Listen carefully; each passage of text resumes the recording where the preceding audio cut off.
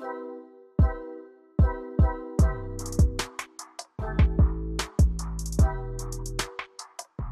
Arkadaşlar merhabalar, hepiniz hoş geldiniz. Bugün sizlerle bir- birlikte Kiler Holding halka arz üzerine konuşacağız. Öncelikle halka arzın detaylarına bakacağız. Eşit mi, oransal mı, ne zaman, kaç paradan, nasıl katılmalıyız, kaç lot düşer gibi gibi bu detayları inceleyeceğiz. Ardından önemli olan finansallarına bakacağız. Ardından en önemli kısım şirketin rasyolarını da sektörüyle karşılaştıracağız. Ucuz mu, pahalı mı diye bir bakacağız. Katılalım mı, katılmayalım mı?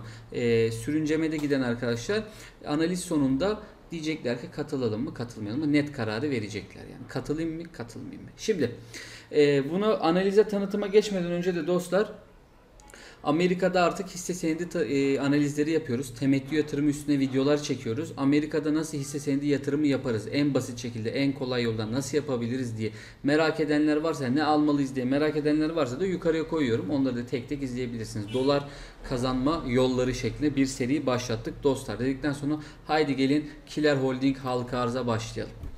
Kiler Holding'e baktığımız vakit talep toplaması 30 Haziran 1 Temmuz 7.10 liradan eşit dağıtıma olarak olacak arkadaşlar. 117 milyonlu toplamda 830 milyon TL'lik bir halka arz arkadaşlar. Büyükçe demişim. Yani 1 milyar TL'nin üstünde olsa direkt büyük. Bu yak- yakın olduğu için de büyükçe demişiz. Şimdi e, halka arz Kiler Holding AŞ anonim şirketi. KLRHO koduyla olacak arkadaşlar. Eşit dağıtım dedik. Ee, şöyle inelim aşağıya doğru. Ee, ek satışlar da olursa %18'i halka arz olmuş olacak arkadaşlar. Şimdi inelim aşağı. Taahhütlere bakarsak klasik taahhütlerimiz var. Burada detaylar yazılmış. 6 ay boyunca pay satışı yapılmayacak arkadaşlar. 1 yıl boyunca halka arz fiyatının altına satış yapılmayacak. 30 gün süreyle fiyat istikrarı planlanıyor. Tamam.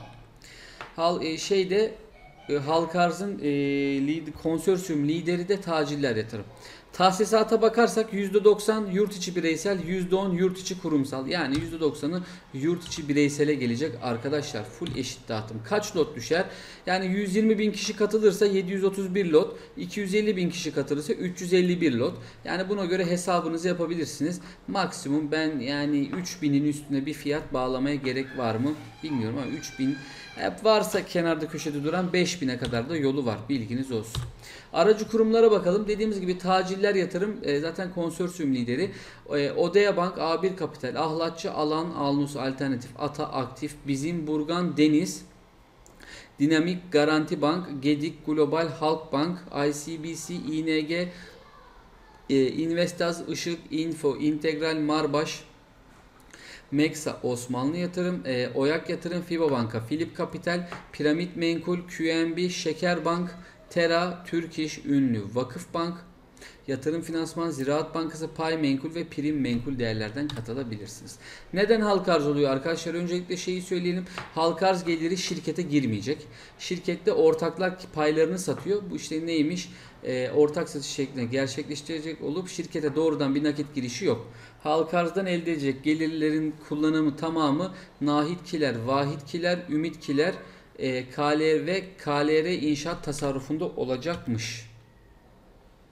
Şirketi tanıyalım dersek Kiler Holding'in kendi sayfasına girdiğinizde hem inşaat hem enerji hem yönetsel anlamda birçok noktada yönettiğini zaten e, göreceksiniz arkadaşlar. Tanımayanınız yoktur diye orayı çok değinmedim. Şimdi e, buraya kadar baktığımız vakit şey hoşuma gitti. Full eşit dağıtım olması güzel. Bireysele çok ciddi e, %90'ını veriyor. Güzel.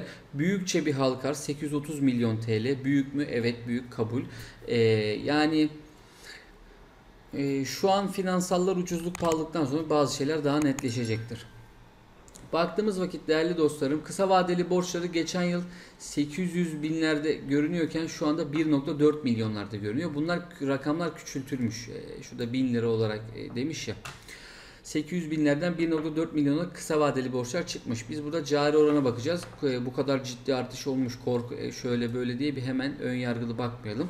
Uzun vadeli yükümlülükler de 44 binmiş 76 binlerde 76 milyonda 44 milyondan 76 milyonlarda olarak söyleyelim. Şirketin kar zarar tarafına bakarsak arkadaşlar şurada indiğimiz vakit pardon dönem varlıklarına ve duran varlıklarına bakalım önce. Dönem varlıkları 1.3'ten 2.7'lere çıkmış. Güzel. Duran varlıkları da 1.7'den 2.2'lere çıkmış. Maddi duran varlıklar tarafında mı artış olmuş? Yok. Öz kaynak yöntemiyle değerlenen yatırımlarda bir artış var. Yatırım amaçlı gayrimenkullerde bir artış var inşaat tarafından.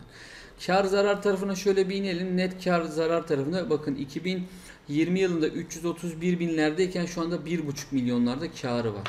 Güzel bir karı var mı? Var. İyi bir kar artmış mı? Artmış.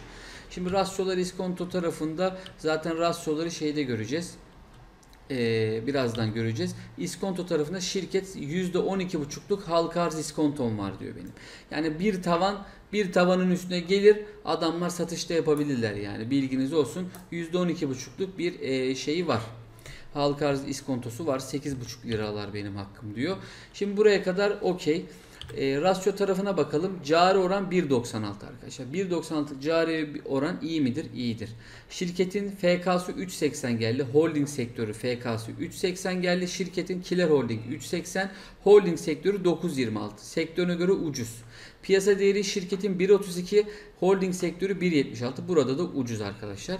Ve cari oran 1.96. Kısa vadeli borçlarının tamamını ödüyor. Geriye de aynı o kadar borç kadar neredeyse parası kalıyor cebinde. O yüzden güzel. Yani sonuç olarak arkadaşlar e, şeyi söyleyeyim. Hmm, sektörünün var olan rasyolarının altında konumlanması beni şaşırttı. Öncelikle ben hani Kiler Holding hep böyle bir negatif bir algı oluşuyor. Kiler gayrimenkul, KLG şöyle böyle gibi gibi. Ama e, yani rasyoların altında olması, ortalamaların altında olması, ucuz kalması beni şaşırttı. Ona şaşırdım. E, cari oranın 1.96 olması beni mutlu etti. İyi, güzel yani tam istenilen noktalarda yani kitaplarda 2 ister. Türkiye'de bir buçuklara güzel deriz, birin üstü iyi deriz yani. E, güzel, o da beni şaşırttı açıkçası. Finansallar tarafında da karlılıklarda artışlar var. Gördüğünüz dönem varlıklar artış var ama kısa vadeli borçlarda artış olmasına rağmen cari oran iyi çıktı. O da okey. Beni tek düşündüren şu anda halk arzın büyüklüğü. 800 milyon TL'lik bir halk arz. Katılacak mıyım? Net buna katılmayacağım diyemiyorum. Muhtemelen ben buna katılırım arkadaşlar. Üzmeyecek bir miktarda katılırım. Çünkü şu da olabilir. Örnek veriyorum. Ciddi bir meblağ ile giriş yaptınız buna. Örnek e, bütün talebi, talep ettiğiniz miktarı da size verebilir. Öyle bir durumda oluşabilir. Durum bu. Dediğimiz gibi kaç lot düşer ekranındaki rakamları dikkate alabilirsiniz. Benim katılıp katılmamam herhangi bir sizi yönlendirme değildir. Bunlar yatırım tavsiyesi değildir. Yatırım danışmanlığı kapsamına girmemektedir. Kendinize iyi bakın. Fırsatları kaçırmayın. İyi günler hepinize arkadaşlar.